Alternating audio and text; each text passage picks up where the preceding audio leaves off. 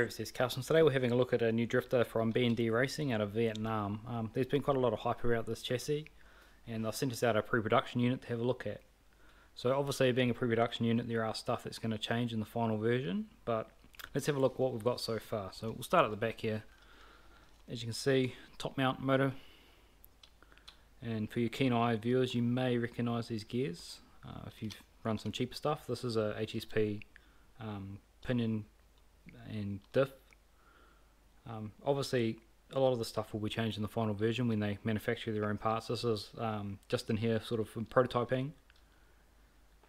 And so if we have a look underneath, as you can see, we've got a lot of adjustments in the arms, and that's so you can adjust your track with. It sort of can go from about, I think they said about 185 mil out to 200 mil wide. Obviously, that might be with a zero mil offset rim. Um, obviously, you can get a bit more width as well with different rims, but it's nice to see you've got a little bit of track width adjustment, which you don't normally see in many cars. So obviously, with the uh, having adjustable track width, you've obviously got to have. Currently, they've got dog bones in them, because obviously, if you fix at one end, you're going to pull pull out of the cup if you adjust it. So, I believe in their final version, they're either going to have adjustable universals, or maybe they'll just sell different length dog bones depending on your width. I'm not sure 100%, but I'm sure they will address that at the state um, when they get to that point. But dog bones for testing is fine. So we go back to here where the battery mounts across here. They have currently two positions to mount it sideways, but I know that they are also working on running it lengthways as well, so you can run it there. And I think they might be putting a couple more positions to bring it forward as well, so you can get your balance where you need it. Alright, so we have a look at the front here. Servo's bang smack in the middle. Uh, there's no sliding rack or anything fancy on this, it's just your normal wiper setup, um, which we've just installed the servo so you can actually see how much lock this thing actually gets. Now it's got pretty good lock on it compared to some other cars that are on the market.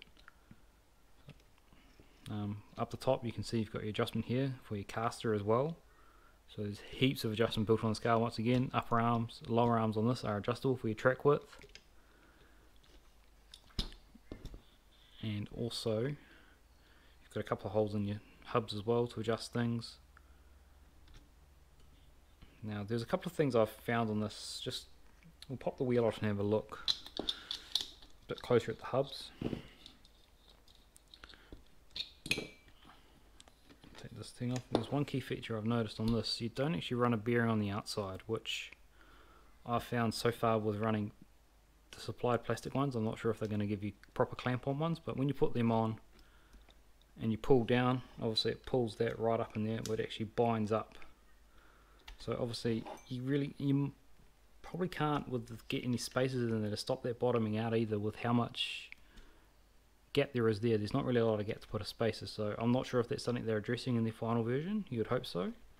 So otherwise you can't run these style nuts which have got your serrated edges because you've got to tighten them up otherwise they'll fall off. And if you do that binds up your wheel and we've had a look at the rear one.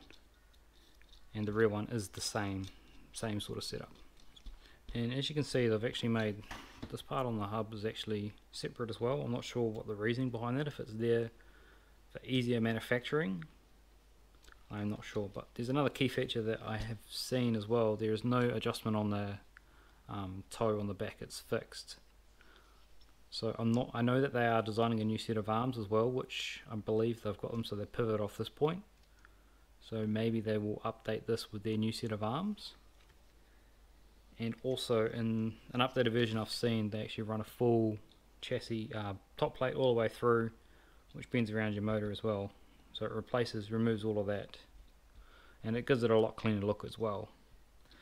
Now, you probably also might have noticed the shocks here they are HSP ones, but they are looking at developing their own shocks, which will be based off their HSP shock bodies, but with their own internals to make them smooth and also keep the price down. Because obviously in Vietnam, they can't just go and buy everything off the shelf, so they have to try to manufacture as much as they can with what they can pick up.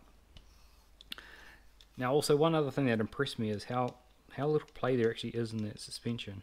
It is it is quite tight considering it doesn't have any shims in it at all, and the front is very much the same. Look, virtually no play in that and it's the same the front's probably got the most play in it which is not really much at all it's more one side than the other which is you know it's good to see that they're still working to quite a tight tolerance considering they're only a small company.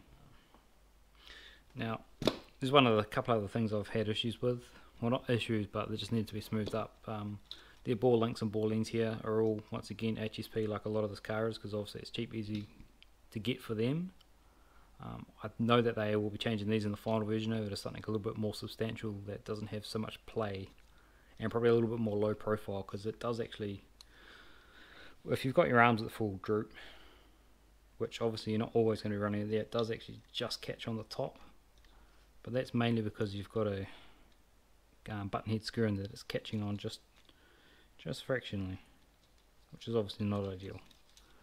Um, and also you probably will notice these screws in here get a better angle of it the screws there are they're not just to hold the arms together, they're actually what they've got sitting there to stop your steering, so they're your steering locks. Obviously they'll probably replace this with something a lot nicer, um, but you know they're there to serve a purpose for now, for you know testing to make sure everything's right before they go into full production. Now I know that they've also been looking at doing a few different things. Um, they're looking at a few different colours. Obviously this is the dark purple. They're looking at a red, a blue, a lighter purple as well, and I think they possibly a green. So they've been putting up a lot of polls in different forums, just trying to get some input on what people want to see. The other thing I know that they are doing is the shock towers themselves. They've got some thicker units coming, which have got a lot more adjustment. They'll have two rows of um, holes to give your heats more play to suit you know different length shocks. I mean they they've also researched into shock length as well. So they've got it set up so you'll be able to run any shock length you want and really personalize this car to your settings. Now another thing I know that they've, they've talked about, whether it's confirmed or not, is also making a rear mount configuration like a D5 as well. So it'd be nice to have a car that you can set up exactly how you want it. If you guys haven't already checked them out, you know, have a look at them on Facebook. This is their Facebook pages here. Um, they manufacture a lot of other parts at the moment for YD2s. Um, they've got magnetic body posts, they're also working on fully adjustable arms, which are going to work on the D5, Yokomo, anything like that. Um, they are only a small company, and they're you know they're fairly new. I believe this car's been in development for about six months so far, and as you can see, you know it's they've done quite a good job of it so far. Hey y'all.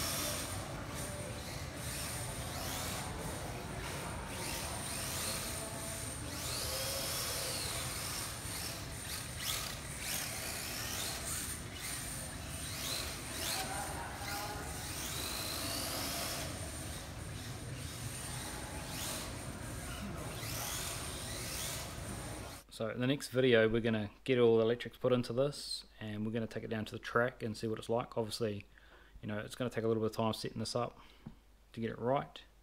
There's a few other things we're going to change such as the um, middle spur gear here because obviously it's going to be quite loud. Um, I know that a lot of them are testing with it but they're probably not testing at a track and I'm pretty sure it'll be quite annoying listening to the gear so I'm going to change that out get everything mounted um, we won't be running it with a body just to play around because obviously we're going to do a lot of changes. Um, so hopefully you sort of two, three weeks we'll get everything together, get down to the track, get some video together. So keep an eye out for that video. Um, until the next one, have a good one.